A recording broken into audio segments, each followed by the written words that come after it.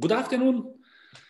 Um, welcome. This is um, um, a lecture, part of the Jean Monnet uh, Chair at the University of Trento I hold. My name is Roberto Belloni and uh, the lecture will be posted uh, on the website of the Jean Monnet Center of Excellence at the University of Trento um, under my project, which I coordinate with the Osservatorio Balcani e Caucaso based in Trento, and um, which is titled the European Union and the Western Balkans Enlargement and Resilience.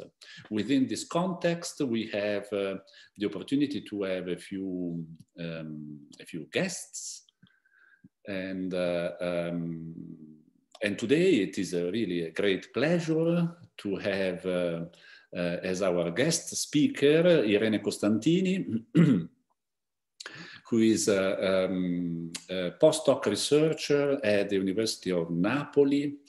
And uh, she's currently um, Ernest Mach Research Fellow at the Austrian Institute for International Affairs in Vienna. She's an expert uh, on, uh, particularly, on, she has studied or worked on, on a number of issues, but in particular, state building in the Middle East and North Africa.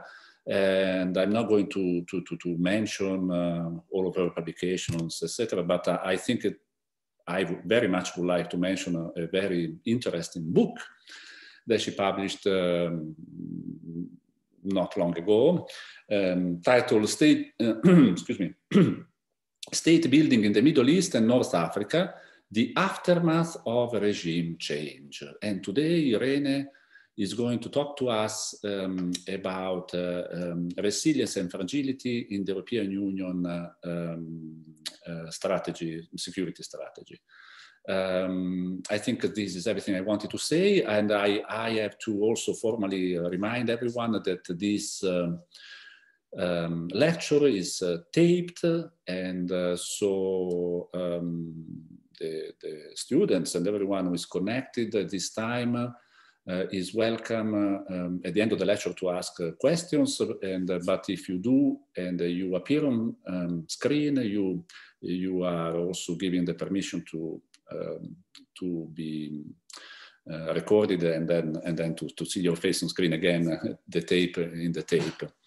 Um, otherwise, you can ask questions in the chat. Um, I think this is everything I, I, I plan to say. So um, um, I guess we can start. Irene, thank you very much for being with us. And I, uh, Irene will, will talk for about one hour, more or less. And we, and we, and then of course there will be the opportunity to ask uh, questions. So thank you again. And thank you for um, everyone who's connected at this time for the lecture. Thank you, Roberto, for the introduction and good afternoon, everyone. Good afternoon to all the students who are remotely connected to attend this lecture.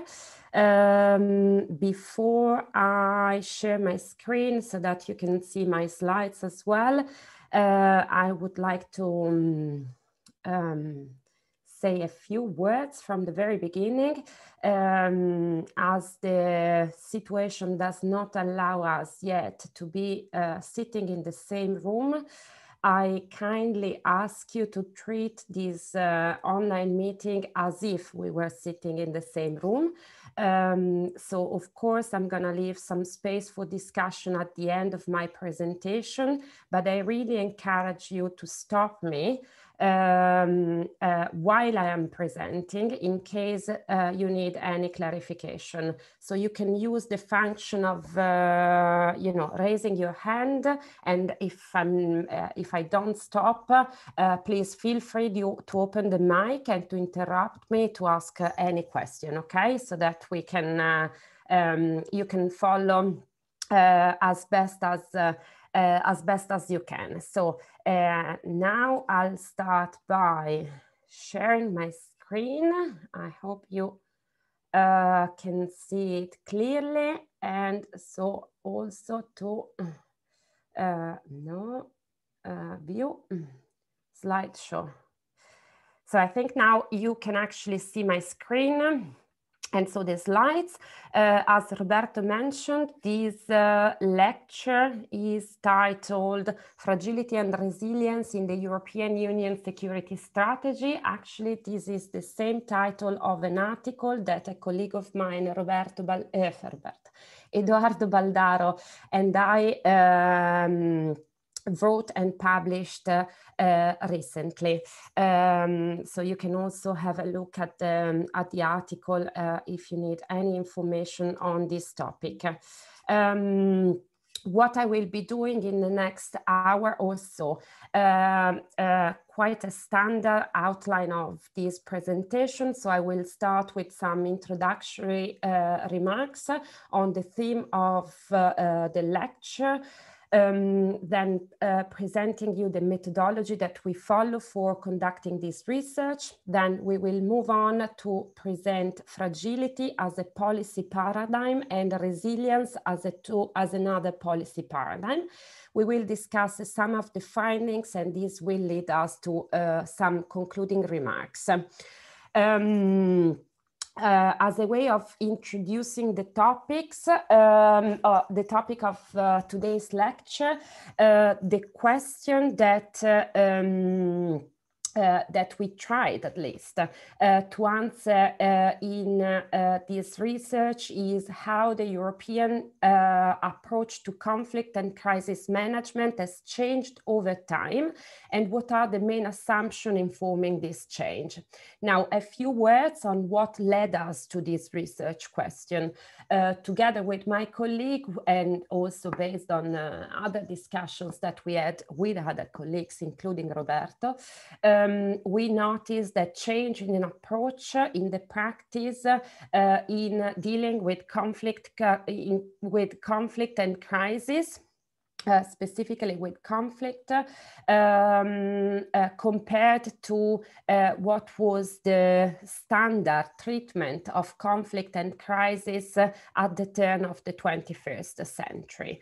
Um, this led us to question whether uh, this was not only by chance or uh, driven by contextual factors uh, related to individual cases, but actually was part of a changing approach um, at the international level. Uh, so we focused on the European Union, of course, uh, as you uh, saw from the title, and we tried to understand whether there has been a change or not and what informed this change. Um, this research question sits within a broader context, the context that we have been seeing over the last uh, decades. Also, um, although uh, the pandemic has, uh, of course, changed the world in which we live. Even before this, um, there were some um, uh, there were some events uh, that, in our view, um, influenced the way in which the European Union uh, was uh, uh, designing and implementing its foreign policy specifically towards its eastern and southern neighborhood among these uh, events that created different context in a way, uh, of course, we can cite the economic crisis of 2007, 2008 that reduced the, um, uh, the financial support to conflict and crisis management worldwide. Uh, there are the events of the Arab, Arab uprisings, which were particularly important for the European Union and that showed a sort of a gap between demands for democracy uh, in some countries in the Middle East and North Africa region, um, while there was um, yeah, a gap in the demands for democracy and in the offer of democracy promotion programs at the European uh, level. We can also cite the, uh, the crisis and the conflict in uh, Ukraine that created um, um, uh, a tense environment uh, in the eastern neighborhood of the European Union with an increasing tension with um, Russia Uh, and then you see uh, in brackets the migration crisis. Of course, we need to uh, problematize uh, this word of uh, uh, this term of um, thinking about migration as a crisis, but in the way in which in the way in which the European Union perceived the topic of migration was certainly as a crisis, and also the terrorist attacks. we can cite here the attacks in Paris in Brussels in between 2015 and 2016, uh, led by a new terrorist organization, the Islamic State in uh, the Islamic State. Um, uh, that uh, was threatening uh, this security and the way of life as uh, uh, then the European Union defined it uh, at its very core. So not only in the periphery, but also within Europe. Um, this research is focused on the European Union, yes, uh, but um, uh, but this is not something that is exclusive to the European Union. Uh, so while we try to trace a change in approach to conflict and crisis management, at the European level, we are also uh, quite aware uh, that this is a change that uh, doesn't stop there. Um, by the way, I'm currently conducting a quite similar work uh, centered on uh, instead on uh, the United Nations, where, based on uh, key documents published in uh, 2015 and from 2015 onwards. And some of the elements that uh, I will highlight in um, in the next uh, slides are also valid at the uh, level of the um, United Nations. So it's not something that is exclusive to the European Union, but we think, I think that this is part of a broader change in approach to conflict and crisis worldwide. Um, another point to mention about the European Union, of course, as we all know, there is always a tension between the European, when it comes to the foreign and security policy of the European Union, there is always a tension between the European Union and its member states, right? Um, here uh, in this research, we are not really um, delving into this tension precisely because we mostly work at the level of discourse. So our analysis is based on documents produced at the European Union level by the European European institutions. Uh, then, of course, we know that the practice may uh, be uh, different. And of course, the tension between member states and the European Union is uh, quite evident when it comes to the practice, but at the level of discourse, there is a shared discourse at the European Union level, and, and, and we focus at that level. A last word uh, as an introduction is on uh, this term, resilience. Um, uh, and here it is important to say that we limit the analysis when we talk about the uh, resilience as a policy paradigm. It is important to say that we limit the analysis to conflict and crisis management. Uh, we all know after one year of uh, the pandemic that the word resilience has been used in basically every area of policy um, within the European Union. Uh, it has been used to describe also different things um, in different areas and so on. Here we concentrate only when we speak about resilience as a policy paradigm, uh, we concentrate the, the, analysis on conflict and crisis management. Then, of course, some of the elements that we highlight may be useful also in other areas of, of policies, but this is also um, a way to, uh, you know, reduce um, uh, the amount of reference to resilience and also try to see how then um, uh, what this concept means and how it is uh, applied um, moving forward, um, let me move forward. Uh, okay, uh, methodology. So this uh, research paper, as I said just before, is based on a discursive analysis. So we analyzed text produced by the European Union And this comparison has been mostly built around two key documents produced by the European Union that are the 2003 European Security Strategy and the 2016 European Union uh, Global Strategy.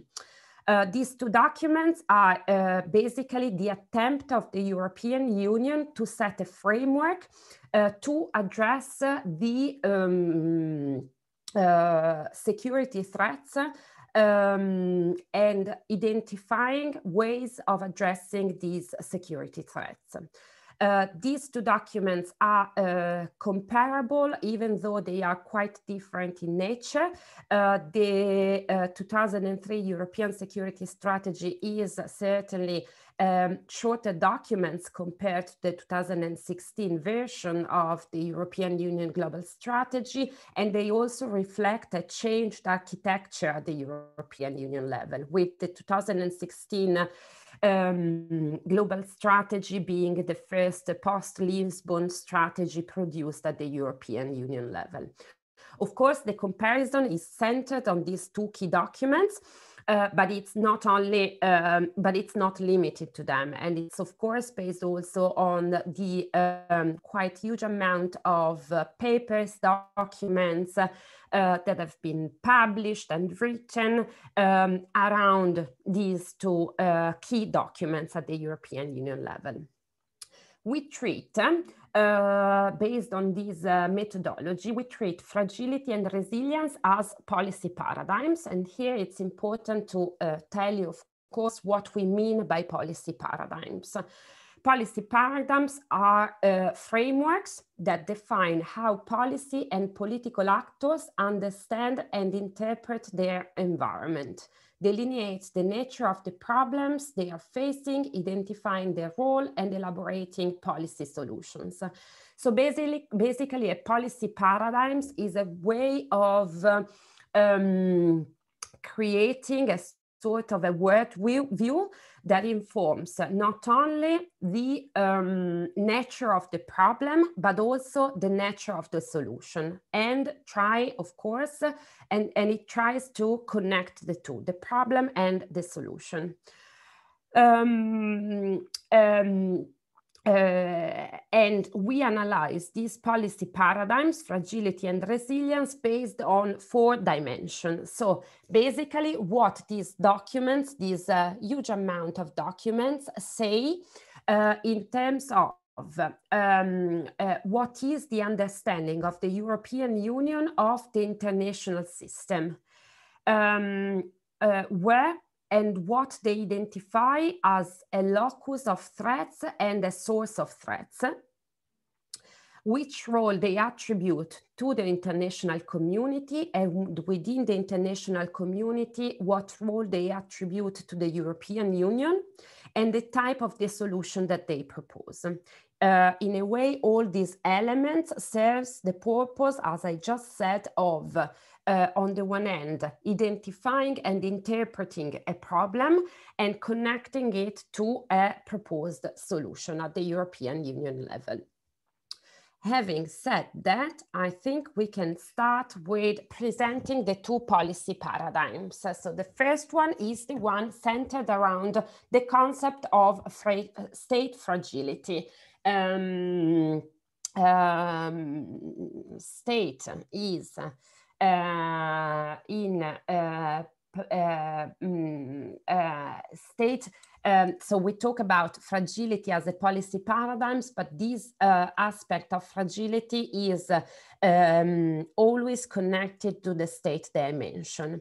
Um, the issue of state fragility um, as a key uh, concept and in our view as a policy uh, paradigms emerged at the end of the Cold War. So we are in the 90s and specifically in a, in a more pronounced way from the beginning of the global war on terror. Uh, so from 2001 onwards, so after the terrorist attacks uh, of 9-11, uh, in which uh, basically what happened is that um, the state fragility paradigm connected the fragility of the state and its institutions with the main source of threats and insecurity at the international level. So the basic discourse at the turn of the 21st century is that the uh, international peace and security was mostly threatened by the um, by fragile states and failed states. This is because the states were representing uh, key threats in terms of uh, um, as far as they couldn't really control uh, what happened in their territories and they could become um, a source of terrorism, for instance, but also a source of uh, um, um, networked uh, um, criminal organizations, uh, poverty, uh, and so on. Um, the state failure and fragility paradigm represented a world in which uh, states were um, different in qualitative terms. So uh, it describes a continuum between fully formed and fully functioning states based on a Weberian standard model of the state, which is found mostly uh, among uh, European and Western states, and the rest of the world in which we see a, um, yes, as I said, a continuum of state experiences that are uh, rather different from the standard, the standard model. Uh, this idea, uh, which contrasts um, uh, full statehood and fragile statehood, is also linked uh, with an overall environment um, and uh, a, an overall vision based on Western liberal values and institutions. So we cannot really separate this idea of state fragility from a broader worldview in which uh, what prevails is um, our Western liberal values and institutions. First, uh, first of all, the idea of liberal democracy, a market economy, uh, uh, and uh, a form of multilateral cooperation at the international level. Uh, so this um, policy paradigm of state fragility really sits within this view uh, that uh, grew out from the 90s of, uh, as, uh, as you know, you, the end of history. So the only model in town is the model centered around Western liberal values and institutions. Um, uh, as a policy paradigm, state fragility gained policy and political popularity. So if you go back in time and you sit between the 90s and the uh, early 2000s, uh, the, um, the term fragility, state fragility, state failure was quite predominant. Uh, both at the academic and the policy level. Uh, so was informing a lot of uh, the discussion, uh, including, for instance, the intervention in uh, Afghanistan in 2011 and the intervention in Iraq in 2003. So it was quite prominent, uh, but it also attracted great criticism, and the criticism came mostly from the academic literature, saying, for instance, that this was um, uh, uh,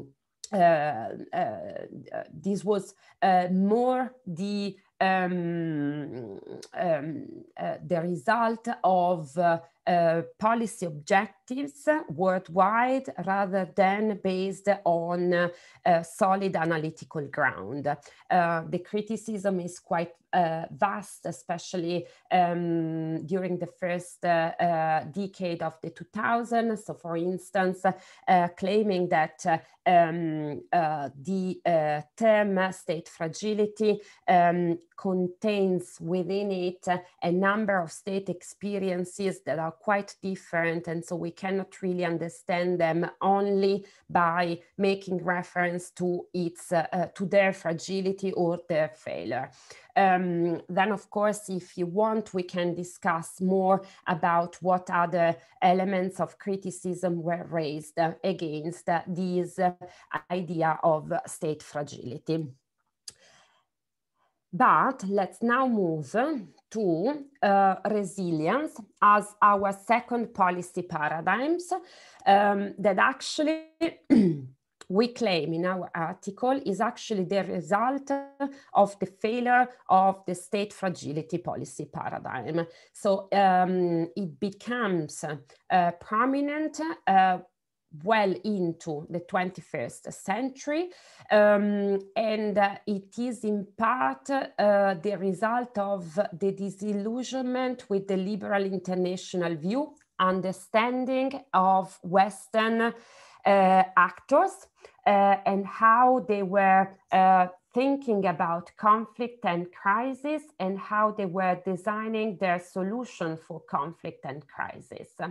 So basically, uh, we, uh, we relate the rise of resilience as a policy paradigm to the key failures of the 21st century in terms of um, uh, in terms of state building, that is basically the solution proposed to the idea of state fragility. Uh, the two key failures, I mentioned these two cases um, just before, of course, uh, can um, uh, are uh, the case of Iraq and the case of uh, Afghanistan, um, in which the international community responded uh, by acting within the policy paradigm of state fragility, but their failure uh, demonstrated the necessity of new ways of thinking about crisis and new ways of thinking about uh, how to provide solutions to this crisis. Um, when it comes to uh, resilience, in a way uh, very much like uh, fragility, we see that there are different uh, definitions, uh, uh, ways of understanding resilience. Um, uh, so they do share also these characteristics. Uh, when it comes to resilience, the term comes from um, different literature, different areas of studies from ecology to psychology, but also the risk management literature. Uh, what is meant by resilience is basically the capacity or the incapacity, uh, in, in the case we need to increase the resilience of a society, um, is the capacity of a society to adjust to an externally imposed change or shock. So in this case, this comes from the ecology literature that takes uh, as a unit of analysis a complex system as a society uh, when it comes to the psychology literature, the focus is more on the individual. So the capacity, the cop coping mechanism of individuals to bounce back. Um, uh, so to face a shock or a crisis and to bounce back and eventually bounce back better. Um, when it comes to the risk management literature, one of the meaning attributed to resilience is the capacity of learning from adversity. Um, um, so basically, it's not how, um, um, it, basically, it's uh, uh, uh, the process of learning out of a crisis, no? So to create a, a resilient mechanism to face the next crisis in a way um, in a way similar to fragility, they also share this. Uh, resilience gained policy and political popularity. Uh, we all know that. Um, there has been an increase in reference to resilience in uh, key documents related to conflict uh, and crisis management, but not only. But also resilience attracted a great criticism um, sometimes referring to the fact that resilience is quite a vague um, or undefined term, so it doesn't really capture um, the reality on the ground, or sometimes it has also been criticized for justifying acting on the cheap. No, uh, so basically uh, promoting types of intervention that are no more, uh, no longer informed by values, by those institutions and values that characterize the um, previous policy paradigms, but are instead a way to uh, justify. Um, more limited role uh, from uh, by uh, the European Union. And of course, again, I can uh, discuss more about the criticism against the resilience later on in the um, uh, in the um, in the discussion at the end of this uh, in the at the end of the presentation um, what they uh, what fragility and resilience also share is as uh, i was uh, hinting at is a certain level of ambiguity. Um, a certain level of ambiguity that um, it's um, it's not by chance, it's not a mistake, but it's actually an ambiguity that is instrumental uh, in order to create um, uh, a degree of um, uh, a, a, common understanding between different actors. So the fact that uh, both fragility and resilience within the European Union uh, documents and uh, policy papers and so on are not uh, necessarily um, well defined uh, is actually instrumental to create uh, nonetheless a certain level or a basic understanding that is uh, shared uh, between different actors.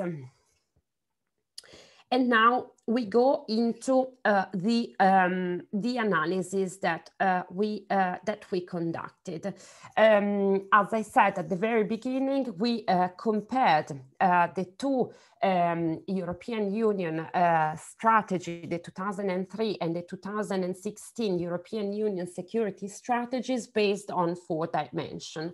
The first one is the, the international system. So basically we questioned uh, how these documents and all the documents that have been written together with these documents propose a different way of understanding the international system.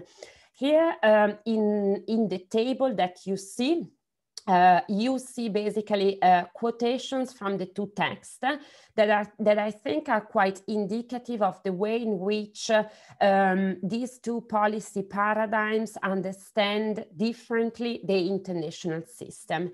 So in 2003, um, uh, the document read some uh, read as uh, um, said something along the line as Europe has never been so prosperous, so secure, nor so free.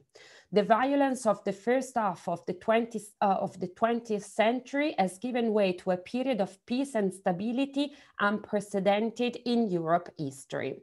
This is exactly in line with what I was uh, telling you uh, when presenting the fragility policy paradigms, that is uh, imbued in um, is uh, uh, defined as uh, is part of a greater um, understanding um, of an international system that is um, characterized by the end of history, no? the liberal framework. Um, uh, Europe is uh, celebrating the fact that uh, is prosperous, secure, and free. And these um, um, are presented as uh, achievements uh, by the European Union uh, that also um, describe a broader environment in which um, uh, Europe situates itself. So Europe is part of a, a general view um, that is based on this uh, idea of uh, prosperity, security, and freedom. Uh, in comparison, and the comparison here is quite telling, in comparison, only a few years later, basically, we are talking about uh, 13 years later, uh, the opening of the European Union global strategy starts with this word. We live in times of existential crisis within and beyond the European Union. Our union is under threat. Our European, uh, our European project, which has brought unprecedented peace, prosperity, and democracy, is being questioned. So here the European Union presents a completely different uh, international system and environment. It is a situation in which what prevails uh, is the fact is uh, an existential crisis. In another part of the documents, um, um, the European Union says that uh, its values and its way of life are under threats. So you can clearly see the changing in the way in which the European Union think and interpret the international system. In the first document in 2003, it was the apex of um, uh, of a positive trend characterized by uh, prosperity, security, and freedom. In 2016, we see instead a crisis interpreted as an existential crisis of these um, achievements um, not only of the European Union, but also so inside and outside the European Union. So the context has changed. We can also interpret this change at the international system um, uh, from the perspective of um, a way of uh, a liberal way uh, to a realist way in which what prevails is uh, rather the perception of uh, um, threats, insecurity, fear, and so on. So the prevailing of a realist way of interpreting the word.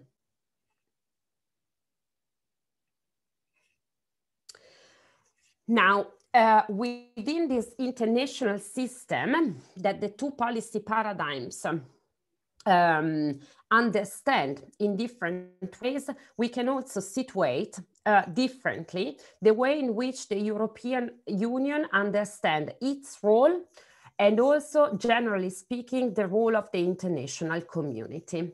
So in 2003, what the documents say um, said was that the European was inevitably a global player based on um, its identity, its positions, its achievement, the European Union was perceived as inevitably a global player.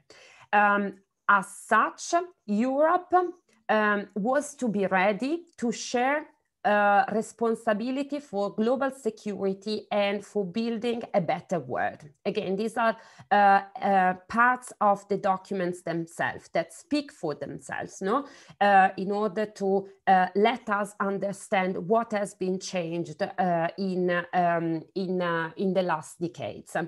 Um, there is an emphasis on um, the international community and within it the European Union um, as responsible actors for what happens um, in the world and uh, for addressing conflicts and crises.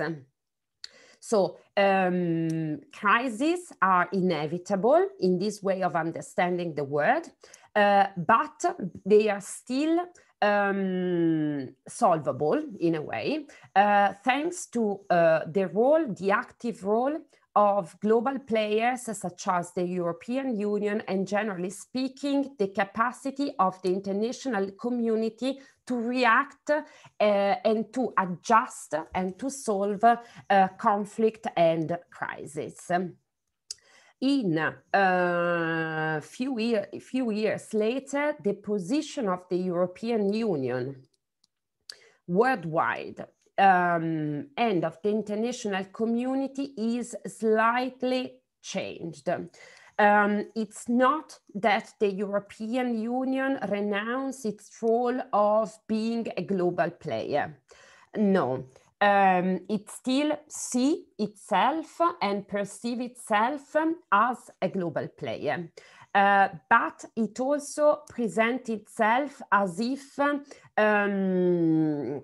um, um, as if uh, there is a gap between what the European Union can do and what uh, um, people, uh, citizens, other states, and other actors in the world expect it to do. Um, and here the quote uh, I took is uh, the following A vast majority of our citizens understand that we need to collectively take responsibility for our role in the world. And whenever wherever I travel, this is the opening by um, uh, Federica Mogherini, our partner expect the European Union to play a major role, including as a global security provider. Um, so in these documents, we see this gap between the uh, uh, what are the perceived capacity of the European Union and what are the expectations by other actors uh, towards the role of the European Union in um, uh, a number of different uh, um, areas, including conflict and crisis management. So here we don't see um, a huge change as uh, the one that I showed you uh, before in terms of the international system itself, but we see that the European uh, Union is uh, uh more wary of taking full responsibility for what happens outside its borders and in context of crisis and uh, conflict. Now, what about the problem no as i told you at the very beginning of this uh, of this lecture uh, a policy paradigms serve the purpose of uh, identifying and interpreting a problem um, and finding the appropriate solution to solve this problem. So here, um, of course, when we refer to uh, the two documents, the two security strategy, we are talking about uh, identifying threats to the European Union and identifying where these threats are located. So the locus of these threats. Here, what is the difference? In terms of the identification of the problem, um, we don't see uh, a massive change. In 2003, the European Union security strategy identified terrorism, weapons of mass destructions, regional conflict, state failure, and organized crime as the key threats to the European Union and to uh, security and peace, uh, international peace and security. So you see no, uh, that state failure is included uh, among one of the threats. No? Um, so it was mentioned uh, specifically in that document. Um, and of course, in, uh, in, in, in the broader understanding, state failure was also linked to all the other threats identified in the documents. In 2016, um, I didn't um, put that down in the slide, but we don't see such a big difference in terms of uh, the identified threats. So the 2016 global strategy still speak about terrorism, uh, regional conflict, organized crime, uh, crime. It also includes hybrid threats, climate change. So it's not, uh, not uh, no longer limited to these uh, five uh, threats. There are more uh, threats, but there, uh, some of them are quite in common. So we don't see a massive change in terms of uh, what is the problem. What we see instead uh, as a change uh, in between the two documents um, informed by the two policy paradigms is uh, the location of these threats. So uh, uh, within the uh, fragility policy paradigms and as it is expressed in the 2003 uh, security strategy and in all the, the documents related to, the, to it, um, the um, locus of these threats is located within the state. So the state has a central position in uh, identifying where uh, all these threats are coming from. It is the fragility of the states that allows um, crimi criminal networks to operate. It is the fragility of the state that allows terrorist organizations to operate and to threaten um, other states. It is the fragility of the state that allows for the outbreak of regional conflicts because it has international uh, consequences as well. With the 2016 um, European Union global strategy and within the framework of resilience as a new policy paradigm, we see instead that there is a change in these locus. So the state um, and its fragility and the problems related to the state, yes, are still there, uh, but are no longer the um, specific target of the European Union debate around resilience. Much more space is instead given to the level of society. This is in line, in part, with the um, with the um, meaning of resilience that I uh, presented before. No? So the idea of uh, the capacity of a society to bounce back from, from a shock or a crisis, or the individual coping mechanism um, uh, to face uh, um, to face a shock or a crisis. So here in the documents and in the debates around resilience, we see that the centrality becomes society. The, the central um, um, uh, the central locus of all these threats is no longer the state, but it is society. Uh, so taken from the text, for instance, a resilient society featuring democracy, trust and institutions lies at the heart of a resilient state. States are resilient resilient when societal societies feel they are becoming better off and have hope in the future. So what is uh, uh, said um, uh, in the lines is that uh, the um, uh, the uh, sustainability or uh, the um, solidity of the state, state rest with a resilient society. So the target of solutions to conflict and crisis are no longer the institutions of the states, but are rather uh, societal um, societal institutions um, uh, where the focus is precisely is precisely is um, um, it goes a step down, no, in a way. So uh, whether at the turn of the 21st century, the main target were state institutions, we need to build um, state institu institutions to make uh countries recovering from uh, from conflict or uh, crisis. Now we see this way of understanding interventions are no longer targeted to the state, but rather addressing uh, societal issues.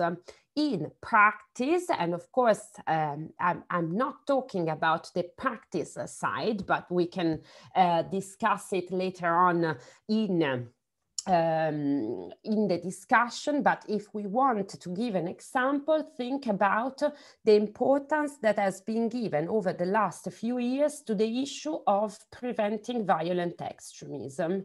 That is no longer building, for instance, the security um, uh, capacity of the state, but it, it is also targeted to society, to individuals, how to identify uh, violent extremists, for instance. Um, these are all measures that are targeted to society and no longer the states, the state.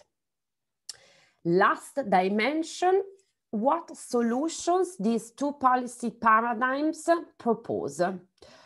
So in line with the 2003 security strategy and with the policy paradigm of state fragility, the main solutions were basically an institutional transfer from the model that we all uh, that we know in western countries so our uh, institutions of states and basically transferring them to conflict and post-conflict countries. No um, uh, this has been often described as uh, uh, a universal and uh, blueprint type of intervention because it didn't allow to see differences between conflict and crisis context. Mm? The same institutional architecture should work from one context to, to the other. Also because, of course, it was informed by um, a strong uh, liberal ideology. No? So the institutions that make liberal democracy and an open uh, economy work should be the one that needs to be transferred to conflict and post-conflict crisis. Once uh, these institutions are working, um, this country will um, uh, will be able to recover from a conflict situation. In 2016, in line with all what I said just before in terms of the understanding of the international system, but particularly the understanding of the role of the European Union and of the international community in conflict and crisis context, we see a different interpretation. First of all, there is the uh, pretty realistic um, assessment that there, that there is no magic wand to solve crisis. So there are no neat recipes to impose solution elsewhere. This is, um, in a way, uh, a much needed assessment. Uh, that is also a reflection of a process of learning in a way um, at the international level and within, of the, within the European Union on the limits of its uh, approach to conflict and crisis. So recognizing uh, that there is no one size fits all solutions. This also calls into, um, uh, into question um, the assumptions that were uh, relevant up until uh, the beginning of the 21st century. No? So this idea that uh, uh institution building was not only feasible, but uh, um, necessary for solving conflict and crisis. And here we see also um, another way in which uh, we can see the affirmation of a more realistic assessment um, in the quotes that basically says that uh, in, um, uh, in approaching uh, the um, foreign and security policy of the European Union, the European Union will be, yes, of course, guided by its principles, but uh, it should also be guided in a realistic assessment of the current environment. Uh, what is uh, in the text and later on, later on also um, developed idea of a principled paradigm, pragmatism, sorry, of a principled pragmatism. So the European Union says we as European Union should be careful in understanding what we can do in each context. And if we cannot do much, we won't do much.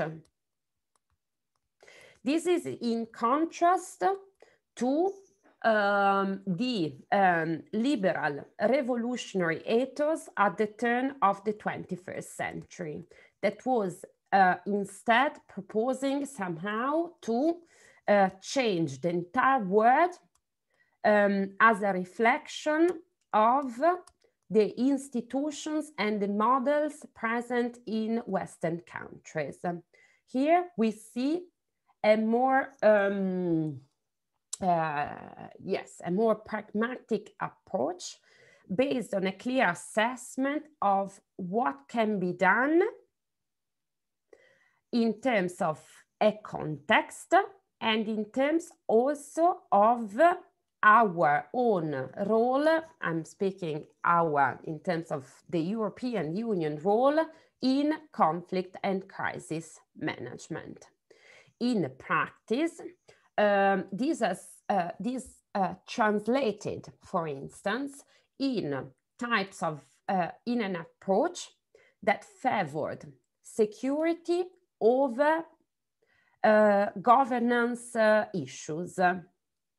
So um, if a situation doesn't allow um, uh, a greater role on behalf of the European Union, we should limit our uh, engagement and so also our responsibility to uh, basic tasks, such as the provision of security or the provision of basic services. This is how, in a way, we can see the translations of this policy paradigm centered around the notion of resilience translated into practice. And of course, I can tell you more later on in terms of uh, uh, examples, for instance. Coming to a conclusion, so basically this is a table uh, that um, tries to sum up uh, the analysis that I just presented. Uh, so basically, as you can see, these are the four dimensions that we analyzed. Um, uh, divided, of course, by the two policy paradigms. So uh, uh, if we look at the international system, we see that um, um, um, that uh, crises are perceived as a breach in an ordered and liberal system, while a crisis, according to the resilience paradigm, is considered as something normal in a contested and realist system. When it comes to the locus of the threats, as I said, there is a shift from a focus on the state to uh, more attention given to uh, society. Mm? Uh, and when it comes to way of understanding solutions, we see uh, that uh, we see a difference in the way in which the European Union understand the role, its role, and the role of international community in a crisis, uh, from uh, being responsible and active within the fragility policy paradigms to um, being much more uh, marginal within the resilience paradigm. And in terms of the type of intervention, we see universal and top-down model uh, solutions to conflict and crisis, uh, while um, in the resilience policy paradigms, we see it as a minimal, context-based, and bottom-up type of uh, intervention. Conclusion. So what we can say about, um, okay, what, what, what, why do we need to see all these changes? Uh, and what uh, do these changes tell us about the European Union and the European Union foreign and security policy? Um, the first thing that uh, I want to highlight uh, is that this shift in understanding uh, crisis and conflict is more about the uh, EU self-perceptions and ideas rather than a reaction to um, radical changes in conflict and crisis.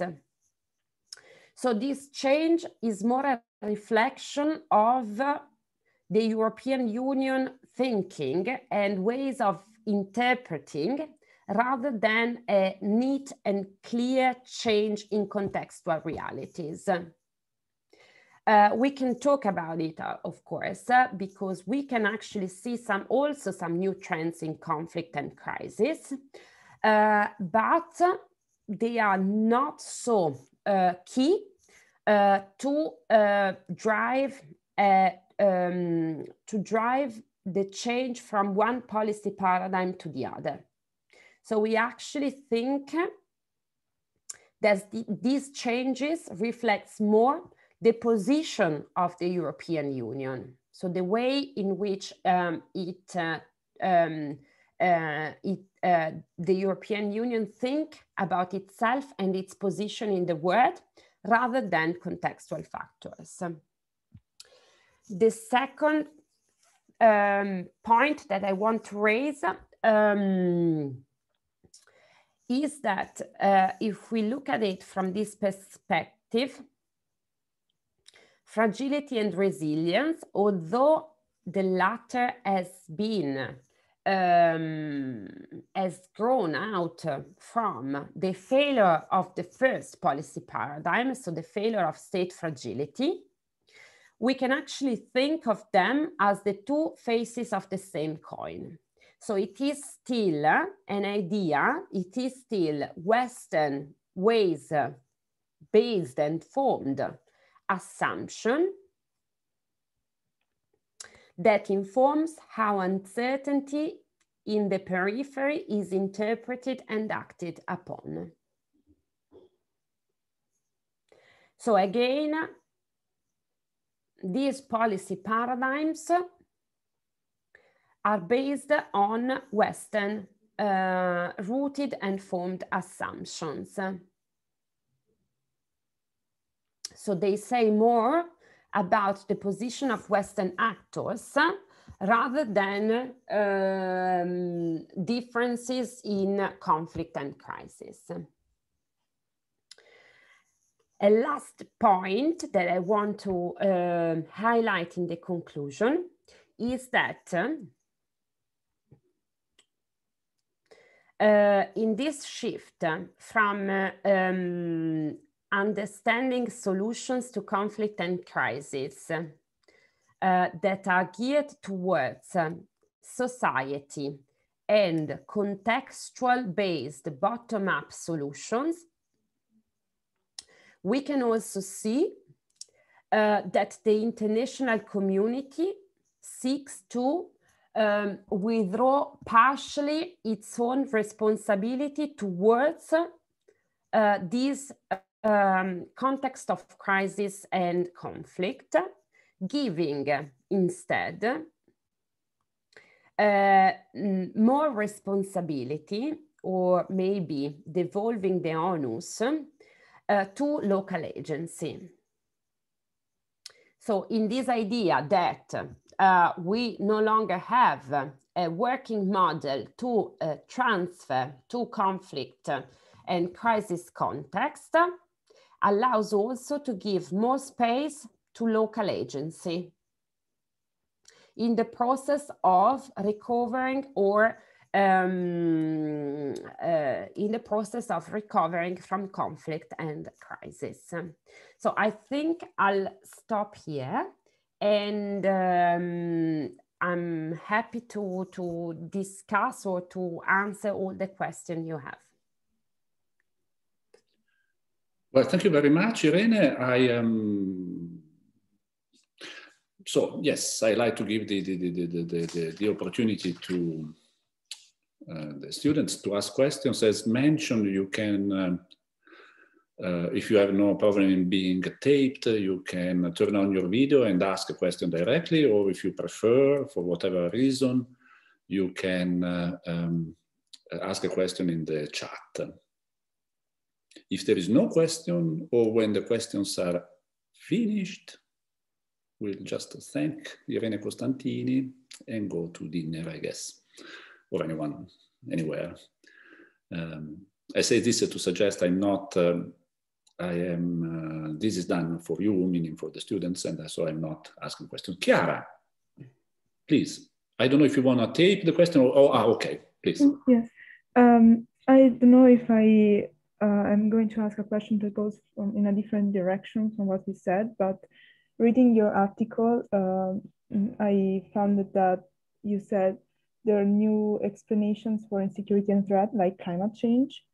And I thought about how um, Western powers have been accused by some states of using also climate change as an excuse to intervene in other states. Uh, for example, Bolsonaro, when he said that the Amazon forest should not be considered a World Heritage Site.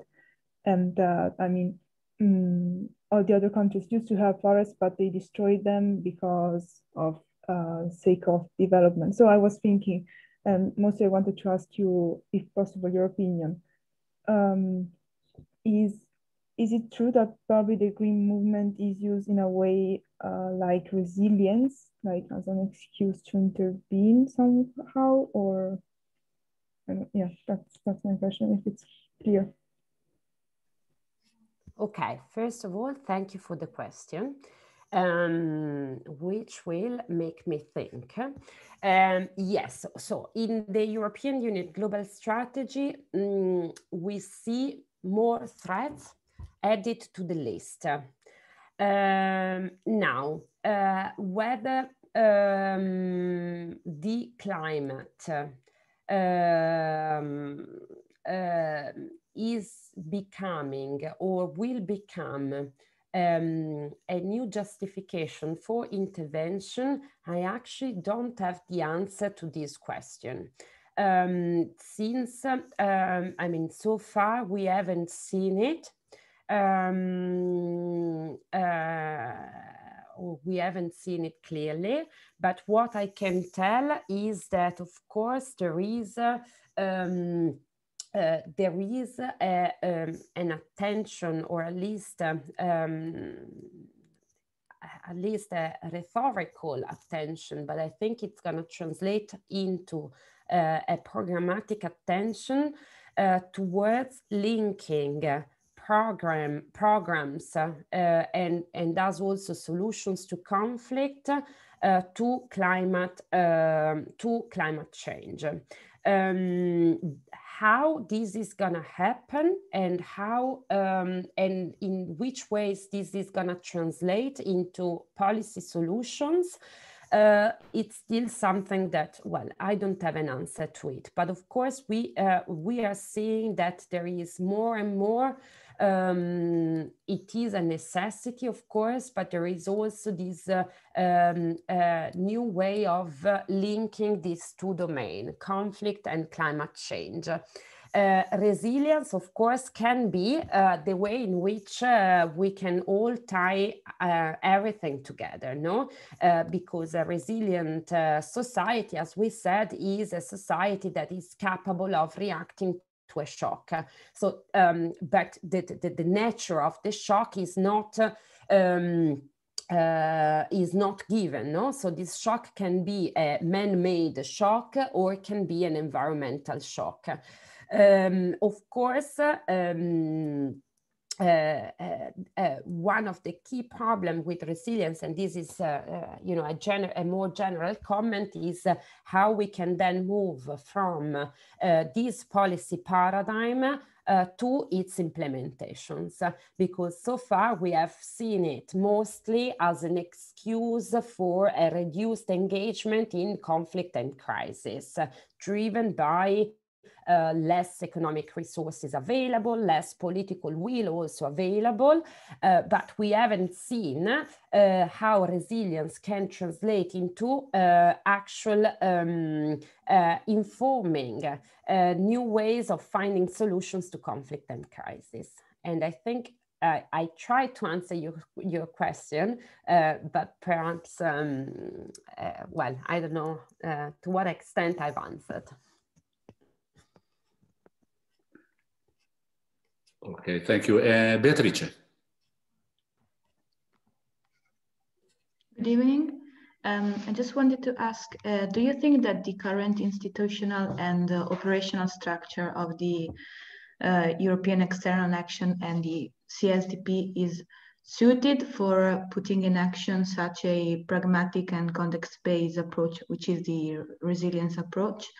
Or is there the need uh, uh, for uh, reforms and changes in these in these terms? Thank you. Okay. Um, no, I, am not. Okay. Um,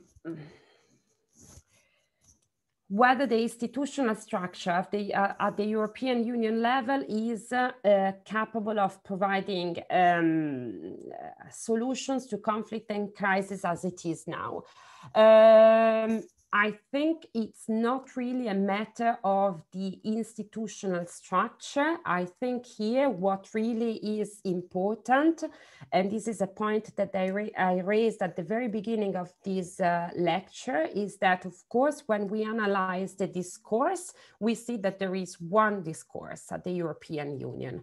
And uh, um, as I said, this is also helped by the fact that uh, um, usually the concept that define the strategy of the European Union are um, um, uh, are often built around this uh, constructive ambiguity, no? so that they can actually um, find a common position or that the same position can be shared among different actors. Here, the problem is that these, uh, these policy paradigms and this way of thinking translate into practice.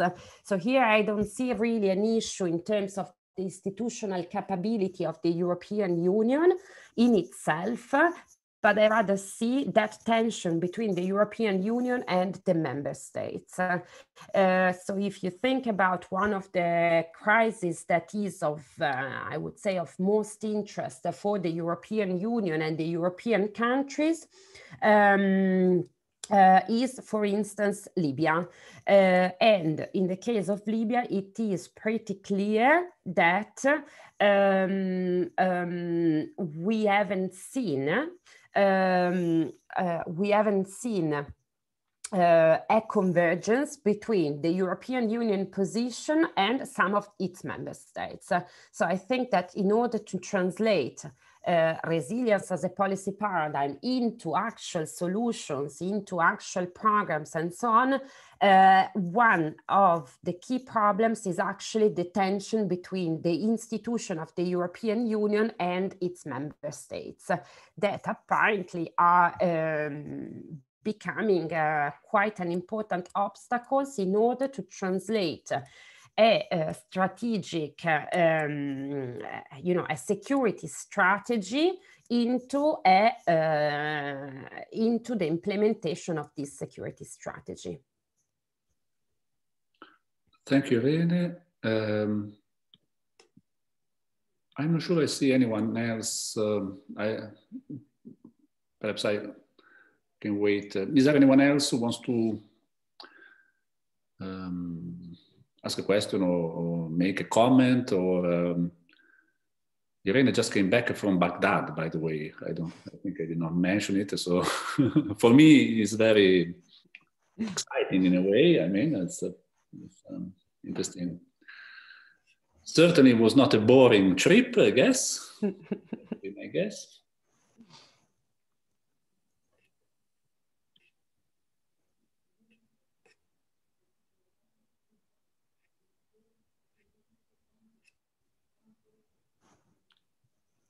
So, fun. so if there are no more comments, I guess we'll um, we'll, uh, we'll, we'll, uh, we'll stop here and um, um, so uh, again, thank you very much, Irene Costantini, for being with us today to talk about uh, the European Union uh, and policy paradigms from fragility to resilience, and um, and uh, and to everyone else. So basically, to the students in my class, we'll see each other next uh, week, and uh, and thank you again all for participating. I'm going to stop the Thank you. Bye. Bye bye. Thank you, Elena.